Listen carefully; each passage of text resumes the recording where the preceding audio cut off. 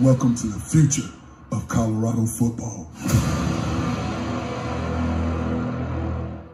poppin' people? Your boy Snacks back in the building with another banger, and you know how we get down. Before we get started, make sure you go ahead and hit the like button, hit the subscribe button, and don't forget to turn leave your comments down in the comment section, cause you know how we do before we get started.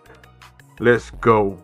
Last night, Travis Hunt, Travis Hunter received his Paul Hornung Award for one of the best players in the nation, the most active player, the most versatile player is what the award is for. And as we know, Travis played two positions, offense and defense on both sides of the ball, and he was spectacular at both.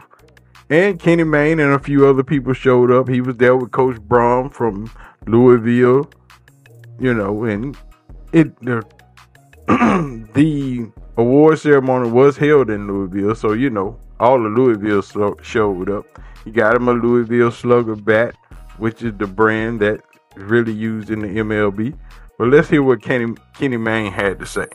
Hey Buffalo people, it's Kenny Mayne. My daughter graduated from Colorado, class of 21. Loved all my trips out there. Love what Coach Prime is doing right now. And I'm here in Louisville to honor your guy, Travis Hunter, the two-way player, getting the Paul Hornung Award. I'm happy to be involved.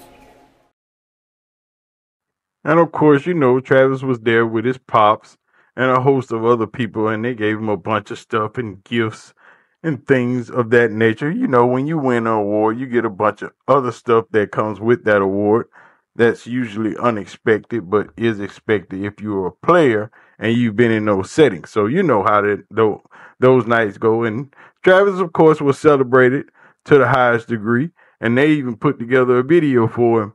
Check it out.